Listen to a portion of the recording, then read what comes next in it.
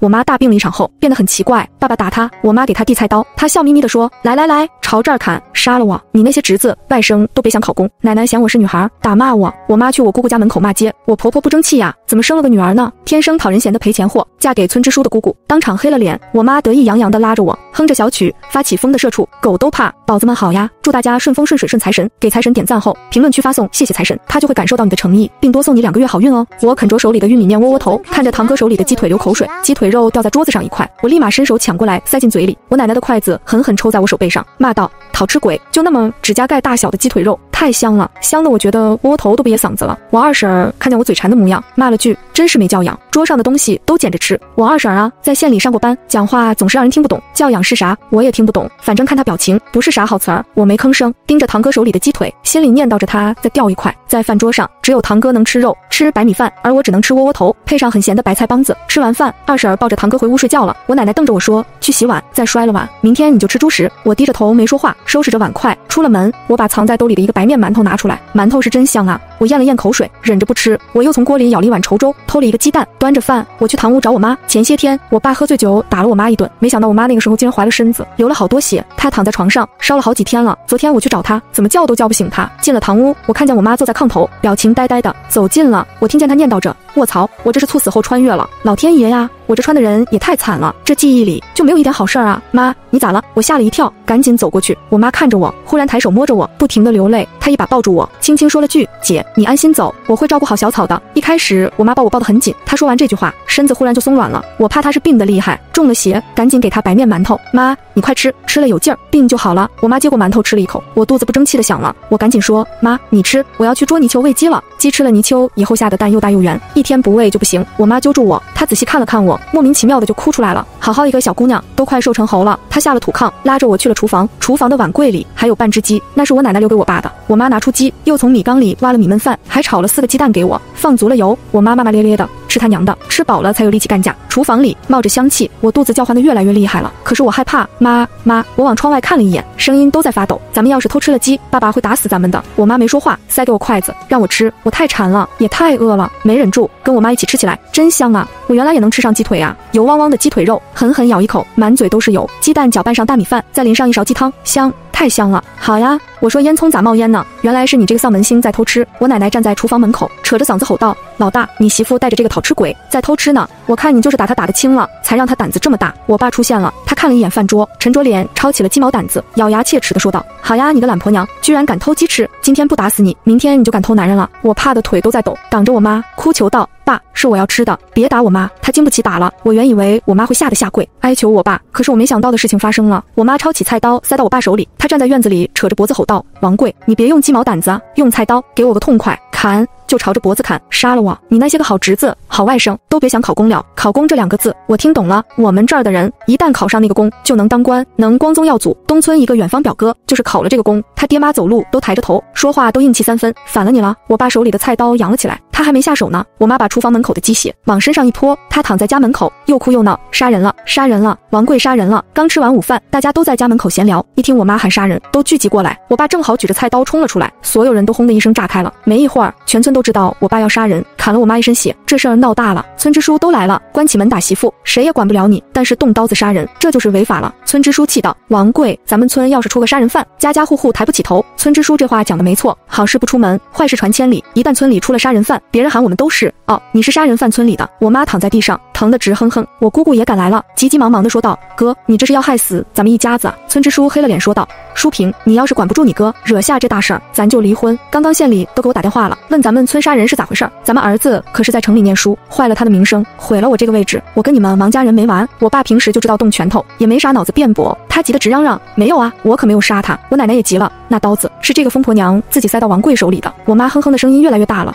是呀，我疯了，要自己男人砍死自己，这传出去谁信呀？反正我也不想活了，我要去县里告，去市里告，去北京告，就说男人动刀子，支书包庇大舅子，不给我主持公道。村支书跟我姑姑狠狠地骂了我爸一顿，让我爸安抚好我。我姑姑说。让嫂子养好身体。过阵子村里锣鼓大会，让他到县里亮亮相，也破了谣言。否则的话，咱们谁都不好交代。经过我妈这一闹，我爸爸跟我奶都不敢动手了。我们吃了半只鸡，四个鸡蛋，三碗白米饭，居然没挨打。这日子我可是想都不敢想。晚上我妈烧了好多热水给我洗澡，这在平时根本不可能敢用柴火。我奶第一个打死我俩，给泥猴子洗洗澡。我妈给我搓着泥，看到我身上以前被我爸打的疤，抿了抿嘴，我觉得像做梦一样，飘飘忽忽的说道：“妈，这日子咋这么好呢？能吃肉，还不用挨打。”我妈不知道为啥又哭哭了，她一抹眼泪，志气满满的说道。这算啥？妈要带你过好日子，往后谁也不敢打咱们。咱天天吃肉，吃白米饭，不光吃得好，妈还要送你去上学。我听了，觉得我妈说的太玄乎了。我问她，妈，你今天咋想的呀？万一我爸真砍你，可咋办啊？我们洗干净了，躺进被窝里。我妈一边摇扇子，一边跟我说，这就叫策略。小小的堂屋里，燥热的很。我妈摇着扇子，带来一丝清凉。她跟我讲什么是以退为进，什么叫狐假虎威。我妈说着说着，迷迷糊糊的睡着了。她睡梦中嘟囔一句，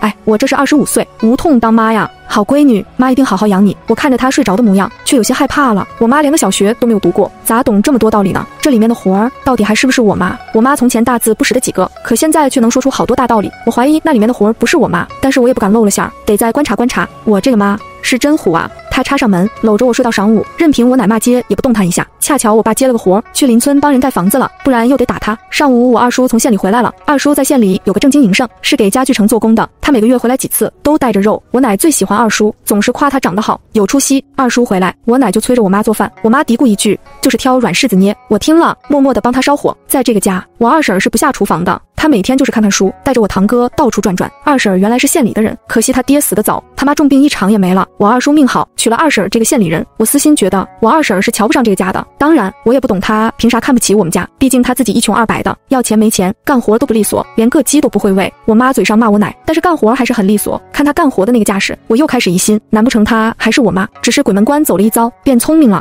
他烧好了一桌子饭菜，我帮他端到了堂屋去。小草，快过来吃。我妈给我盛了满满的白米饭，塞给我筷子。我奶一看，当场就给了我妈一个耳光，骂道：“哪有你这么糟践粮食的？不是还有粗面窝窝头，干啥吃白米饭？”他说着，抢了我的碗，塞给了我堂哥、二叔跟二婶，低头吃饭，没说话。堂哥拿了一个猪蹄，美滋滋的啃着，还朝我做鬼脸。我早就习惯了这样的生活，怕我妈再挨打，扯了扯她的衣袖。没想到我妈眉毛一横，笑了，啥意思啊？小草吃米饭就是浪费粮食。我奶理直气壮的说道。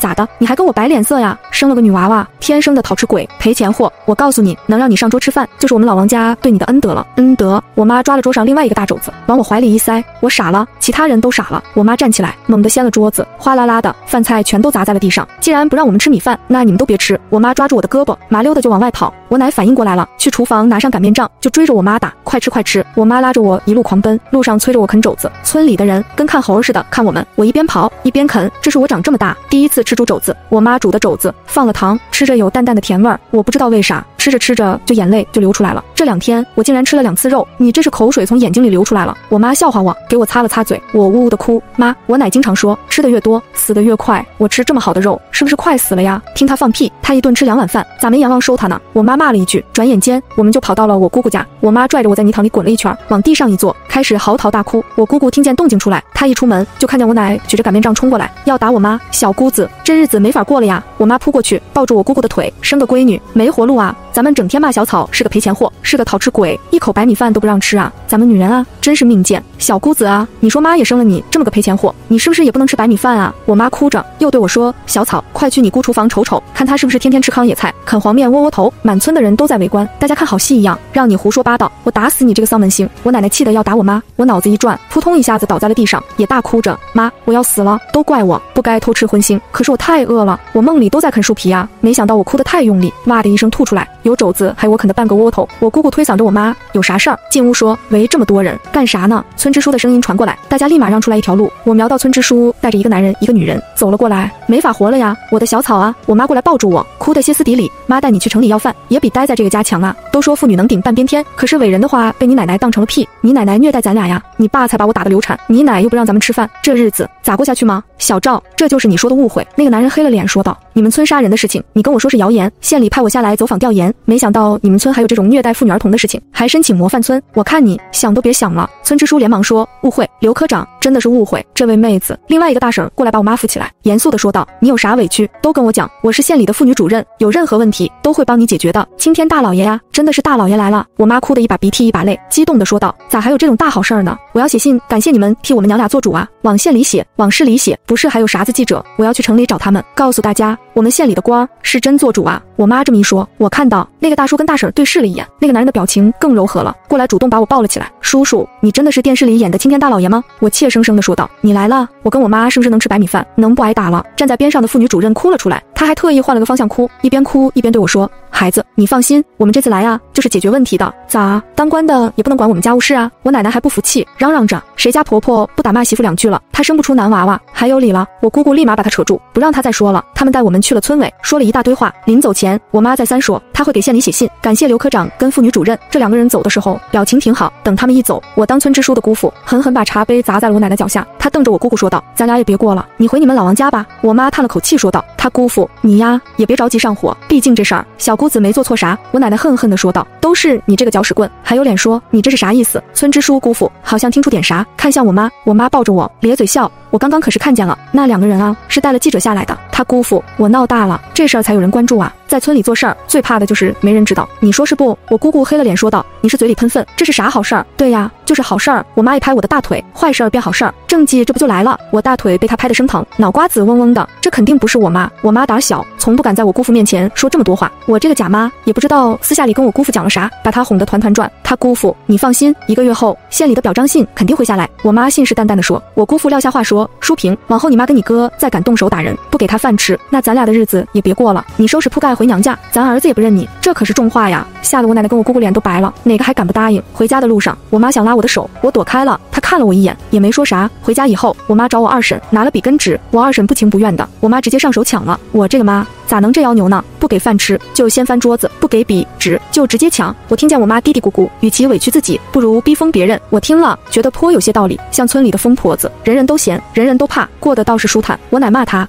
小学刚毕业，大字不识几个，还学人家写信，真是猪鼻子插葱，装相。我奶奶这个大嘴巴，满世界说我妈装相，学文化人写信，村里人还来看热闹，阴阳怪气的笑话我妈，说她肚子里没墨，尽作怪。我妈反驳说，我这是要给市里的报纸投稿的，什么写信，不懂别瞎说。她这么一说，连我那个话少的二婶都开口了。二婶拉拢着脸说道。大嫂，你就这样的，别侮辱了文学。哎呦，听听“文学”这俩字多高尚呢！仿佛说出这两个字，我家的鸡屎都变香了。这么多年，我二婶就是靠着“文学”俩字，在我家当菩萨呢。她高中毕业，天天做着文学梦。我二叔每次回来，都把他写的信拿去投稿，可来来回回这么多年，也没见他发表过一篇。村里本来见我二婶是高中毕业，想请她到村小学教书，结果我二婶去了两天就不去了，嫌村小学的学生蠢笨，掉价。我呸，还掉价？他啥价呀？我这样的咋了？我妈扬了扬手里的稿纸，往地上呸了一声。没有我这样的，你这清高的高中生，能每天一睁眼就能吃上饭？你那些脏衣服是谁给你洗的？地里的活又是谁给你干的？我妈越说越气，嗓门都拔高了。我告诉你，从今往后谁家的活谁自己干。我们各家都有三亩地，别指望我去给你种。从今往后，我做饭你就得洗碗，否则的话，你给老娘喝西北风去。我奶急道：“你别蹬鼻子上脸啊，少说两句，我听女婿的，不打骂你。可是该干的活你一样不能少。眼看着就要秋收了，你别想偷懒，咱家那六亩地可指望你了。”这一次，我妈没有说那么多话，她掷地有声的问了三个字：“凭什么？”是啊，凭什么？这三个字像是一道惊雷一样，在我脑子里炸开。我妈说的，我二婶脸都白了，可我却听得痛快。我二婶嫁进来这八年，就因为二叔在县里干活，就因为他生了个男娃，在家啥也不用干。还有我奶，听说她从前也是干活的一把好手，可现在全指望我妈。播种的时候，六亩地呀，我妈一个人从早忙到晚，她在地里忙一天，回家以后连口饭都没有。我奶打麻将不见人影，我二婶关起门来自己吃。至于我那个爸，活着跟死了没甚差别，地里的活是一点不干，仗着自己的泥瓦匠手艺，混点烟钱酒钱，他觉得自己了不起哩，觉得自己挣了不少钱。可他啥时候拿回来一分钱？家里能攒下点钱，都是我妈种地养鸡的血汗换来的。我妈性子软，不会讲话，种地、洗衣服、做饭，样样都是她干。她干这么多活，没有落下一句好话，反而动辄被我奶跟我爸爸打骂。以前就因为她劝我爸洗洗脚再睡，被我爸打得鼻青脸肿，还说什么。死女人还敢嫌弃老子了？你是啥城里大小姐呀？还洗脚？老子要不要再洗个澡啊？他没钱了，还问我妈要，口口声声说老子挣钱养家糊口，跟你要几个花花怎么了？我妈受了那么多罪，今天终于有人替她问了一句：凭什么？我听了不知不觉的不觉得流泪，我蹲在墙角处，默默地擦着眼泪。我奶被我妈问住了，急道。什么凭什么？谁家儿媳妇都是这么过来的。我年轻的时候不也是受罪受过来的？我妈走过来摸了摸我的头，对我奶奶说：“谁都是这样过的，但我偏不能这么过，因为我这条命是别人换来的。我如果继续这么窝囊的过下地过下去，对不起那条命。”我听了，猛地抬头看向他，他这是啥意思？他这是承认我妈的壳子里换了个人。我妈拉着我去把手里写的东西交给了我姑父，让他寄出去。我姑父一看，脸上就笑了：“你这篇稿子写的有觉悟啊！”我妈在稿子里夸政策好，县里的关怀到位，村里的干部做实事，才让广大妇女脱离苦难。我们没有回家，住在田埂上，望着已经黄了的玉米。眼前的六亩地是我妈一垄一垄尽心伺候的。我妈曾说：“小草啊，等收了玉米，卖了钱，妈就送你去上学。妈没文化，吃苦受罪，你将来一定要读书，考上大学，不能过妈这样的日子。”那个时候，我觉得考大学很遥远，问了她一句：“那我要是考不上大学咋办啊？”村里只要读书就奔着考大学，可是能考上的没几个。如果读书就要考大学，我是害怕的，我害怕辜负了我妈种的地。我妈想了想说：“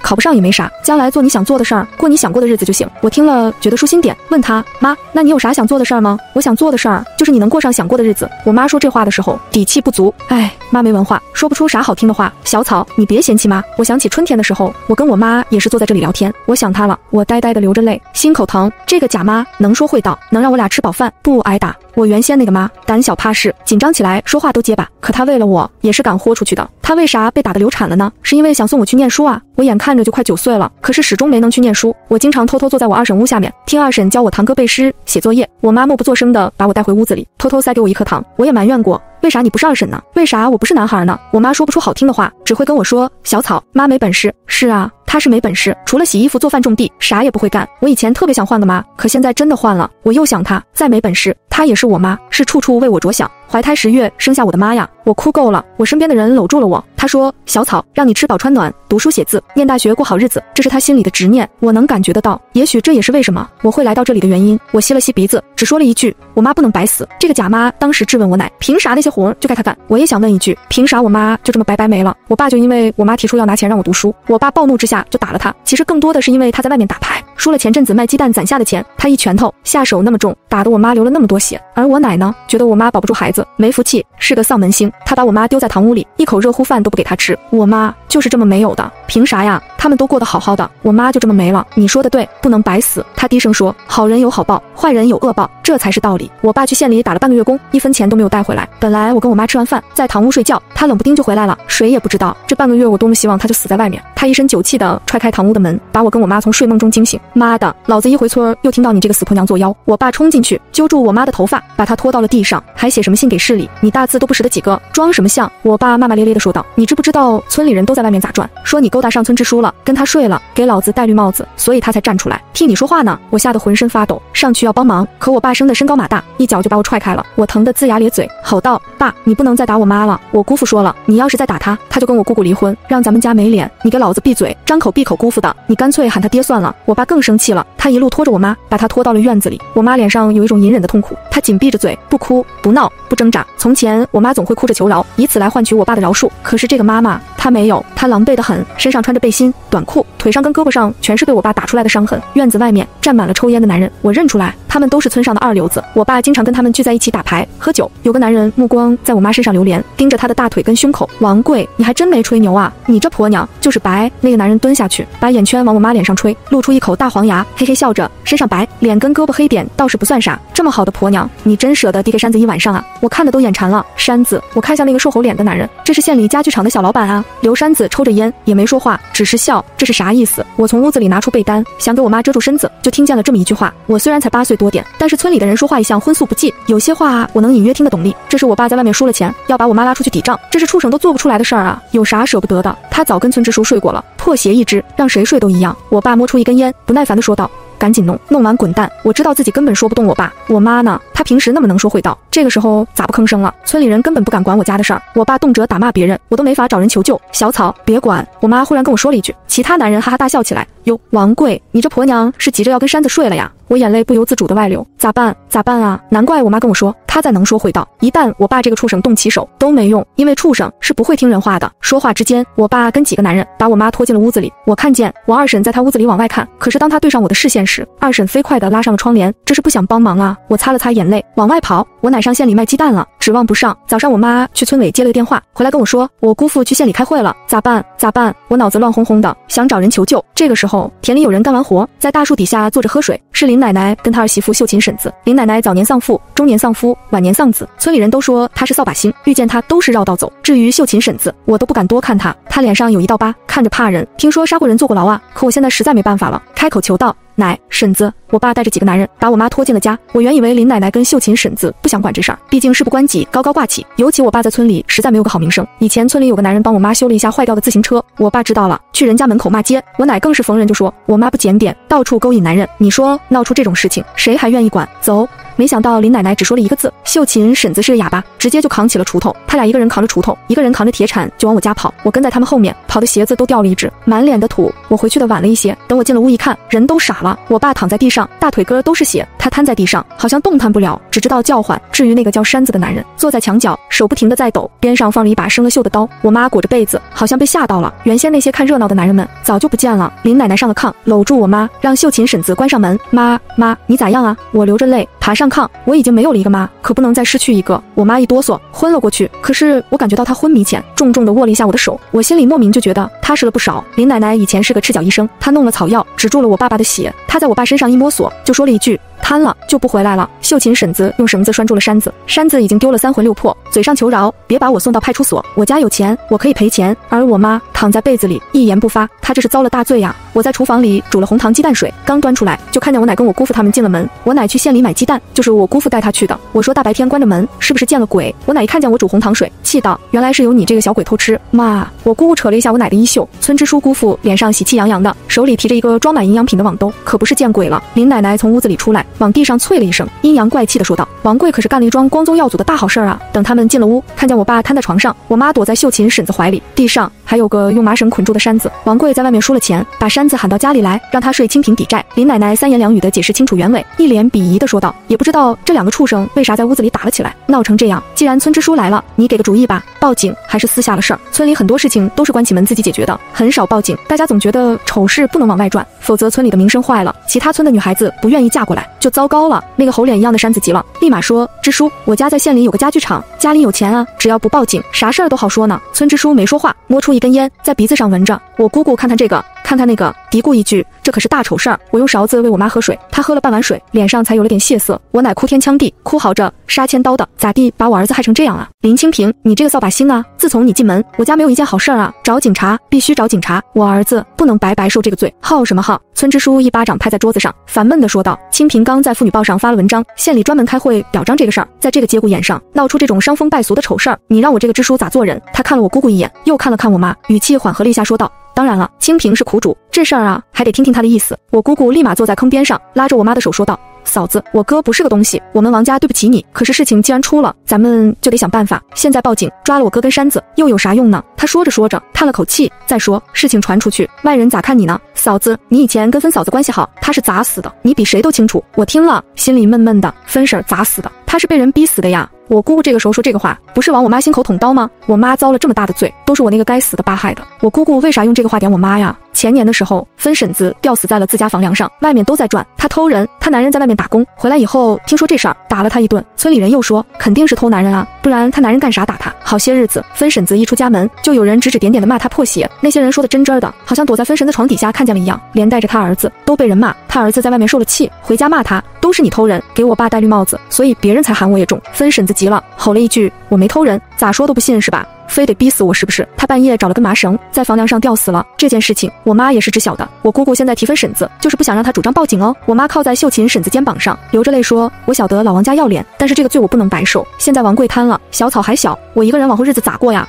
山子赔的钱必须捏在我手里。村支书一听我妈答应私了，立马说道：“咱们现在就让山子写字据，这钱都给清平保管，谁也不许惦记。”我却瞧见我奶眼珠子咕噜噜转着，也不知道在打什么坏主意。等山子写了字据，这事儿就算是完了。我爸躺在床上，只有上半身能动弹，吃喝拉撒都得要人伺候。我奶倒是心疼他，没白天没黑夜的给他喂药喂饭，端屎端尿。过了几天，山子来送那笔钱，我煮了鸡蛋要给我妈吃。走到屋门口，我听到山子跟我妈说话，要我说还是清平姐你料事如神，知道废了王贵这个窝囊废。王家人。也不会说啥子。嫁给这种畜生，真是委屈你了。啥？我妈跟山子竟然私下里有事儿？我站在门口不知所措，心里矛盾的很。没想到我妈早就察觉到我在门口了，打开门把我拽了进去。她把我抱在怀里，给我包鸡蛋，继续跟山子说话。那批家具卖的咋样？山子嘿嘿一笑，清平姐要我说，你天生就是干这行的料啊，全卖光了，南方人抢着要呢，又给了一批订单。我傻眼了，咋回事啊？我妈咋还跟山子做起生意了？听他们闲聊，我才知道了原委啊。原来我妈前几趟进县城卖鸡蛋，就认识了山子。山子家有个不大不小的家具城，用料扎实的很，但是销量却不好，不外乎是样式不时兴了。现在的人都知道赶时髦啊，县城里的另外一个家具厂专门请了一个南方设计师过来，挤兑的山子家没法干了。山子脑筋活，不安分，整天想去南方发大财。他老子却是个实实在在的手艺人。山子爸嫌弃南方那些样式中看不中用，一直不想转换思路。可是我妈跟山子一拍即合，出了几款设计图。我妈设计的家具好看又实用，山子直接联系了南方的朋友，往那边卖了。我听着听着，心里想，看来我这个妈以前就是干这行的。山子，我的能力你是看到了。我妈直截了当的说道。那咱们就按照原先说好的，筹资贷款，办公司，办厂子。山子的眼睛贼亮，特别仗义的说道：“姐，我是信你的，你说咋办就咋办。”我妈侃侃而谈，说起怎么贷款、办企业、厂子以后咋发展。说着说着，还说家具以后要卖到什么香港、澳门，我听得津津有味。山子叔笑道：“姐，你可真敢想，香港、澳门那可不是咱们的地界，外国人管呢。”我妈自信的说道。放心，早晚会回归咱们中国。中国的土地一寸都不能丢。他一边说，一边在纸上写写画画。山子听得特别认真，连连点头赞同道：“姐，你说的是，开放以后，南边的人是越来越有钱了。人家现在都追求那个啥生活品质。”他们谈了足足四个小时，天都黑了，我奶在外面骂起来。死女人，你男人还在呢，你就关起门偷男人了。山子把我妈写的那些东西塞进包里，啧了一声：“姐，我先走了。将来呀，我还想娶媳妇，不想坏了名声。”哈哈哈，他溜走了。小草，我妈摸着我的头问我：“我跟山子合谋，害得你爸瘫痪了，你觉不觉得我恶毒？”我立刻摇了摇头，他活该。我想了想，握住他的手，犹豫了一下，问他：“你以前是不是也遭过难？”挨过打，我指的是以前的他，他肯定听懂了。他被我爸打的时候，脸上那种隐忍是演不出来的。我妈沉默了好一会儿，给我讲了一个故事。她说有个姑娘，她前半辈子过得很不好，生在一个大山里，上面有一个大姐，下面有两个弟弟。她从小吃不饱穿不暖，整天挨打。她从小的愿望就是好好读书，走出大山。她姐为了供她读书，甘愿嫁给了一个瘸子。后来初中毕业要上高中了，她爹为了给两个弟弟换彩礼钱，逼她嫁人。她的语气非常平静，我听着也没觉得有啥稀罕。毕竟十里八村多的是这样的女孩子。如果我有个哥哥弟弟，将来也是这样的命运。后来县里。建了所女高，是新来的女县长出面筹资建成的，可以让女孩子免费读高中。她考上了那个高中，她大学毕业，努力工作，比任何人都努力。因为她大姐生了重病，需要钱。她说到这里不吭声了，我抬起手给她擦了擦眼泪。她把脸埋在我的肩头，低声说：“还好，他死前买了保险，受益人写的是他大姐。我不知道啥是保险，但是我听得出来，他很想他大姐。我像我妈妈安慰我一样，轻轻拍着他的背，喊了他一句姐。他抬起头，满脸的泪，又笑着掐我的脸。”可别瞎叫，让你奶听见了，找巫婆把我给抓了。他嘴上这么说，眼里却有笑意。我心里想着，妈，你走了，却给我带来这么一个好姐姐，这是不是你对我最好的守护啊？我妈写的文章发表在了妇女报，我觉得应该特别厉害，因为我看见我二婶专门去县里买了一张报纸，翻来覆去的看我妈写的。村支书号召全村人聚集在村委大院，听我妈发表的文章。午后日头落了点，凉快了一些，大家听见村里头的大喇叭广播，挨家挨户的搬上板凳，成群结队的往大院走。我妈今天穿的特精神，从县里买回来的洋红色套装，穿上了小皮鞋。我哪知道她花了这钱，又是好一顿骂。糟蹋钱啊！这些日子，我爸躺在床上，瘦得快成皮包骨头了。老话说，久病床前无孝子。我奶伺候了他一阵子，也懒散起来。可见久病床前，亲娘也变后母。我妈还给我买了一条的确凉的格子裙，给我扎了两小辫儿。这还是我头一次穿裙子。从镜子里一看自己，我愣了愣。哎呀，镜子里那个眼睛乌溜溜的小女孩，竟然是我自己哎！从前我总是挨打挨骂，吃不饱穿不好，走路没精神，拉拢着脑袋，眼神闪躲。可是现在，我妈给我勤洗澡，买新衣服，让我吃肉。我跟我妈去县里找山子，也会被当成城里小孩呢。我一出院院子，其他。村里小孩就围上来，羡慕的想摸我的新衣服。我大大方方的从我的小布包里拿出一把糖，分给大家。有男孩子想抢，我一脚把他踹开，然后先给小女孩分。我妈说了，女孩子要知道爱女孩子，这样大家的日子才更有盼头。一路上，我听到好多人议论我妈，清贫了不得呀，居然还发表了啥文章？可不是，县里都除了表彰，说她是啥子妇女模范。快走走，咱们都去听听她说啥了。等我们到了大院里，板着小板凳坐好，我妈上了台子上开始讲话。她说我这篇文章的标题叫《伟大的妇女同志》。我妈这么一说，院子里的男男人们轰然大笑。啥？伟大的妇女，哈哈哈！咋伟大了？洗衣服做饭的娘们还伟大了？真是笑死个人了。那咱明天也写个伟大的男同胞。男人们起着哄，开起了玩笑。有个二流子直接站起来对我妈吹口哨：“你是伟大呀，白花花的身子陪县里的有钱人睡了，才换来今天的好衣服啊。”他这么一起哄，好多人都吹起口哨，说起下流的话。林奶奶跟秀琴婶子一直站在台下，时不时的在本子上记着啥。我妈镇定的继续讲，接下来我就给大家说说什么是伟大的妇女。我妈的文章写的直白通俗，就连我这个八岁多的小孩子都能听得懂。她一连发出了很多疑问：为什么从女人。肚子里出来的男人。却可以随意打骂女人，看不起女人？为什么女人。洗衣服、做饭、种田赚钱，可是在家里生不出男娃娃就被人。骂赔钱货？为什么女人。自己都看不起女人？婆婆打骂儿媳，姑嫂之间争吵不断。这三个问题一提出来，村里的妇女们面面相觑。女人们好像从没想过这些。为什么农村妇女们千百年来只会埋头苦干，从不会提出问题？我妈发出了振聋发聩的呼声：我们要发现自己的价值，我们要团结起来。伟人曾说，妇女能顶半边天，我们顶了半边天，就是半个主人。只要我们团结起来，就没有男人敢打我们。她的声音严肃，掷地有声。性格懦弱的爱凤婶子哭着站起来，她用尽了力气吼道：我婆婆瘫痪在床这些年，都是我在照顾，家里面我拾掇的整整齐齐，每天都有热乎饭吃，田里的活我也没少干。可是我男人总说，男人才是家里的顶梁柱，因为我生了三个女儿，就整整天打骂我，没有女人哪来的男人？脾气火爆的刘寡妇站起来大声说道：“咱们样样不比男人差。我男人死了后，我不照样种田养猪，赚钱养孩子？可见没了男人，咱们女人活得照样好。”又有个婶子责问她婆婆：“你从前也被自己婆婆打骂，自己也苦了大半辈子，为啥现在总在家里挑事儿，欺负我呢？都是女人，何必为难女人？”她婆婆被问傻了，讷讷的说道：“女人嘛，不都是这么走过来的？”我妈把所有的人话听在耳朵里，她严肃的说道。对，一代代女人互相压迫，互相倾轧，可这就是对的吗？这是不对的。女人应该互帮互助，应该团结友爱。女人力气是不大，一个女人打不过一个男人，可是十个女人呢，能不能打得过一个男人？如果一家男人敢动手，其他女人联合起来呢？想得美！我家男人就是打死我，也不能让别的女人打。有个婶子叉着腰，得意地说：“我生了三个儿子，可是大功臣，我男人可不打我，不像其他人，命苦哦。”院子里的男人们也回过味儿来了，这是撺掇我们不过好日子啊！你这个女人没安好心。有人嚷嚷着哄得我妈下台，也有人沉默不语，还有人不知道在想什么，一边想一边哭。我拖着脸看着台上的妈，觉得她浑身都在发光。昨晚她搂着我说：“小草，中国女性是最伟大、最坚韧的，她们拥有无穷的智慧跟力量，只是很多人被蒙昧了。有些人不让女人读书识字，把她们困在无穷无尽的家务中，困在生儿育女的痛苦中，剥夺了她们思考的能力，让她们变得。”麻木，其实我们并不比男人差，男人能做到的，我们都能做到，而且可以做得更好。你要相信自己，相信女性力量。我一字一句听在耳朵里，觉得心里头有一种奇妙的感觉。我妈的话像是烙印一样刻在了我心里。我妈说，这是那个女县长去他们村里宣传女校的时候讲的，她一直记了这么多年。自从我妈在村委大院讲了那番话，村里仿佛有什么东西不一样了。经常有村里的妇女来我家找我妈聊天，我二婶见了，嘲讽我妈，那些人书都没读过，你跟他们说什么思想，说什么价值，有用吗？要我说，愚昧的人懂得少，痛苦才会更少。我妈看着。他直截了当的说道：“你倒是读过高中，你看不起我们这样没受过教育的基层女性，所以在这个家觉得高人一等，处处压迫我。一提我二婶读过高中这事儿，他脸上那种得意的神色就上来了，自傲的说道：我自然跟你们是不一样的。”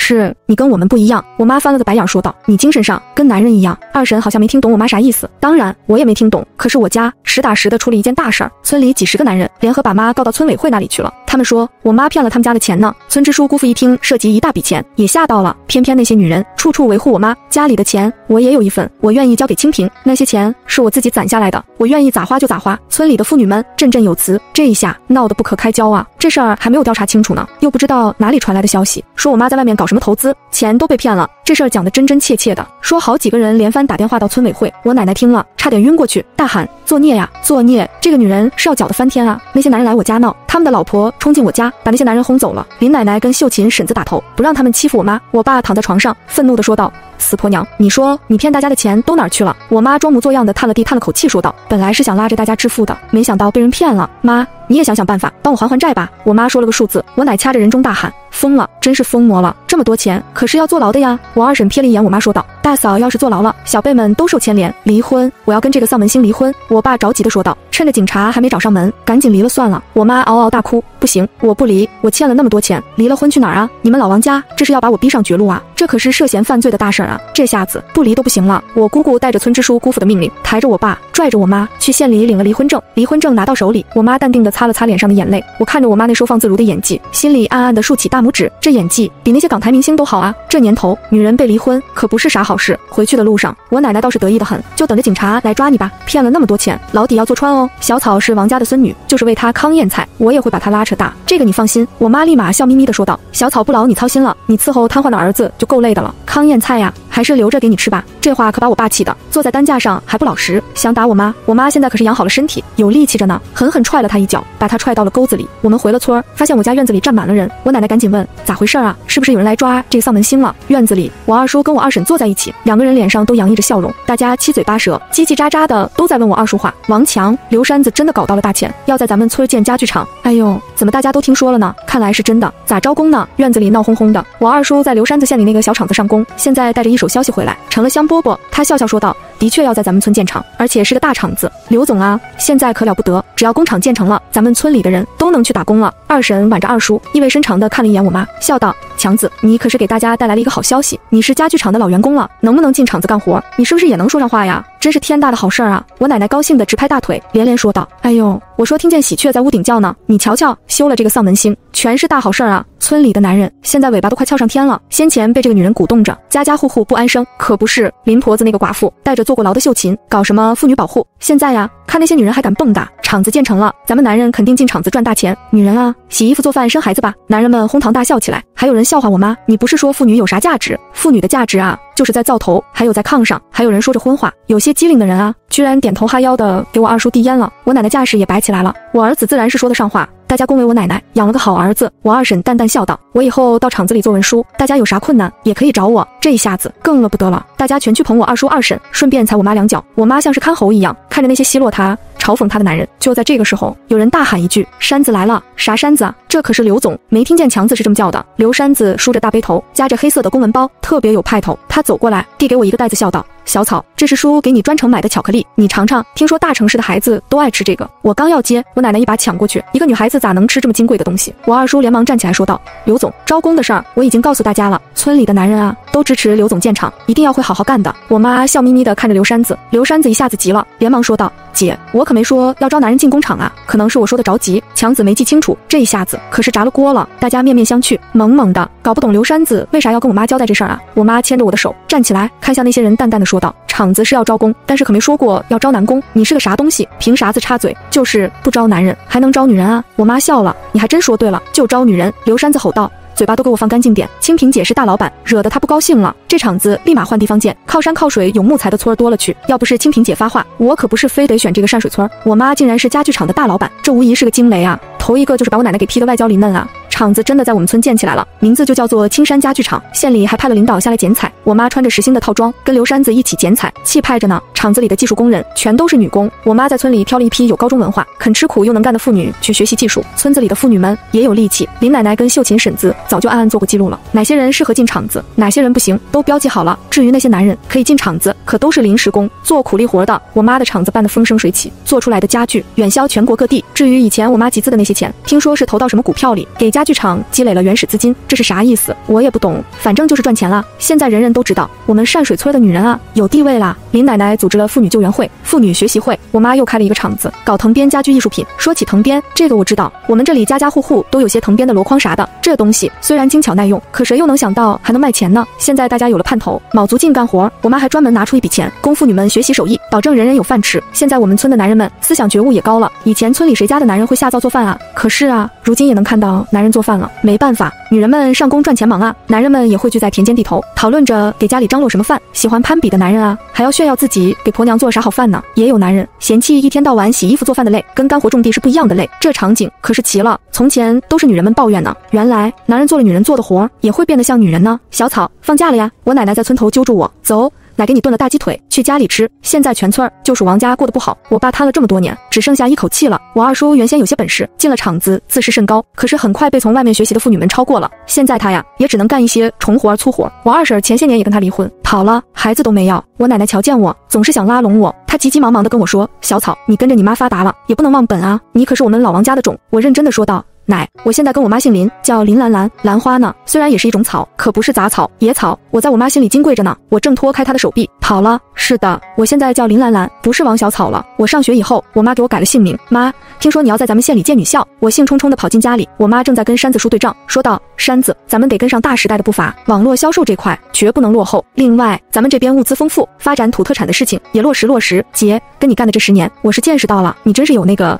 前瞻性，刘山子佩服的很。山子叔也是有良心的，跟我妈一起干的这么多年，他俩也没散伙。他私底下说，我妈是个心怀大义的人，越有钱见得越多，越知道跟我妈这样的吃不了亏。你这小耳朵真是灵敏。我妈抓过我的手，笑道：“县里给了一块地，是要建学校了。”我眼睛一亮，只收女学生。我妈坚定的点头，对我特别开心的靠在她身边说道：“我们班里眼看着就要高三了，可是有五六个女同学都退学了，说是家里人逼着打工。那些女同学无一例外都是家里有哥哥。”弟弟的，他们也是穷乡僻壤考出来的，心里再也不甘。可是爹妈不出钱供他们读书，他们也没办法。可是如今我妈建成了女校，虽然救不了所有人，可是我相信星星之火可以燎原，希望的种子早晚会撒遍大地。妈，我以后也要像你这样做一个伟大的人。我励志说道。我考上了大学，大学毕业后又参加了公务员考试，在基层锻炼了很多年。组织上把我派遣到一个叫做龙泉县的地方，龙泉县是出了名的贫困县，也是出了名的重男轻女。我走访了一下，好多地方居然还有婴儿塔，专门遗弃女婴的。在县里三年，我通过招商引资发展了当地的特色产业，经济景气起来。我联合教育局着手准备建立女校的事情。我始终记得我妈跟我说过的话：兰兰，女人在这个世界上过得比男人苦。你现在虽然有了一些权利，但是永远不能忘记自己的性别，要为咱们女人谋福利。建女校的过程中，我走访乡下，遇见了一个女孩，她瘦瘦高高的，眼睛很亮。她是主动找上我的，递上了她这些年的成绩单。这孩子是梳洗过一番的，指甲缝干干净净的，没有一点污泥。阿姨，这是我的成绩单。她满脸渴望的跟我说：“我很想去上高中。”我把她搂在怀里，温和的问她。妮子，你跟阿姨说说，你为啥要想上高中？这孩子看了一眼村委的人，跟我说，我我想好好学习，做个有用的人，报效祖国。这话听着很排场，很多孩子都这么说。可是这个女孩说着说着，忽然哭了出来。阿姨，其实我是想考上大学，赚钱，赚很多很多钱，把我大姐接出去。她为了让家里人同意我读初中，嫁给了一个瘸子，整天挨打，前几天还被打得流产了，身子还没好，又得下地干活。书里跟新闻里都说读书有希望，有前途。我想抓住这个希望，让我大姐过好日子。村委的人表情有些尴尬。阿姨，我不明白。为啥男人的日子比女人好过那么多呢？是不是就像我奶奶说的，女人生来蠢笨？她总说我就算是读书，也考不上大学，也赚不到钱。她嘴上说着读书赚钱，说着想要抓住希望，可她的脸上却有着深深的迷惘。一代又一代的女孩子就是在这样的打压下长大的。曾经的我也是。我想了想，把我妈以前跟我说过的那番话讲给她听。孩子，中国女性是最伟大、最坚韧的，他们拥有无穷的智慧跟力量，只是很多人被蒙昧了。有些人不让女人读书识字，把他们困在无穷无尽的家务中，困在生儿育女的痛苦中，剥夺了他们思考的能力，让他们变得。麻木，其实我们并不比男人差，男人能做到的，我们都能做到，而且可以做得更好。你要相信自己，相信女性力量。这孩子喃喃着“女性力量”这四个字，脸上那些迷惘渐渐散开了。你叫什么名字？我问他，他说林清平。我听了一愣，笑道。真有缘分，你跟我妈妈一个名字。她是一个杰出女性，靠着做家具帮助了很多女性脱贫脱困。林清平听了，有些向往的说道：“我将来也要做家具相关的工作，向您的妈妈学习。那你努力哦，阿姨，希望能在女校的考场上看见你的身影。”我给她加油打气。忙完了一天的工作，我连夜坐车回了我家，因为今天是两个日子，我一个妈的忌日，另一个妈妈的生日。回到家以后，我把今天的见闻讲给我妈听，她听着听着流起了眼泪，我吓了一跳，赶紧问她咋了。我妈泪流满面的说道：“兰兰，那个叫林清平的小女孩就是我。难怪我妈鼓励我去龙泉县工作，原来还。”藏着这样一桩缘分，一阵飓风穿越时空，刮来了前所未有的希望。一个叫王小草的女孩子重获新生，一个叫林清平的女孩子带来希望。女性力量生生不息。全文完。